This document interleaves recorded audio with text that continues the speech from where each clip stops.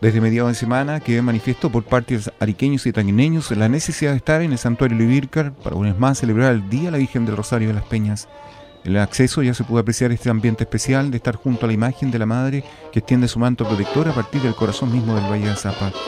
Cerca del templo, en la explanada y con el Cristo observando a quienes llegan extenuados tras tres horas y media de peregrinación, aumentaron las ofrendas por agradecimientos y compromisos pactados. Un ambiente de recogimiento y manifestaciones de emoción se observan al interior del templo, como esta ariqueña que proviene desde Río de Janeiro, Brasil. Vengo de Río de Janeiro a ver a la Virgen. ¿Y ha hecho esta, este sacrificio de llegar acá? Sí, para proteger a mi familia. ¿Primera vez que lo hace o...? No siempre lo hago, pero hace siete años que no venía. La muestra más palpable de devoción es esta ariqueña que tras un infarto cardíaco le baila y pese a su precaria condición de salud, espera seguir recuperándose en el transcurso del tiempo. que tuve una enfermedad muy grave. Eh, me dio un accidente vascular, estuve en Santiago, hospitalizada más de dos meses y estoy mucho mejor gracias a Dios y gracias a la Virgen de las Peñas.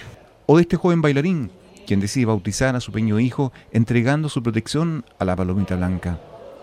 Estar acá es, es- para mí es muy, muy importante y, y poderlo bautizar es doblemente importante estar aquí en este lugar y que tenga el, el bautismo. Un dirigente a nivel mundial en un deporte que cada día se magnifica más en en Arica, el bodyboard, se presta a ser caporal de su baile.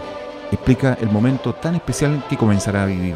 Espiritualmente aquí es el lugar donde yo me conecto con Dios, me siento mucho más cercano a Dios y mediante mi, mi canto y mi danza es una oración que te traigo para, de, mi parte, de mi familia, de mi amigo, por todas las personas que están mal.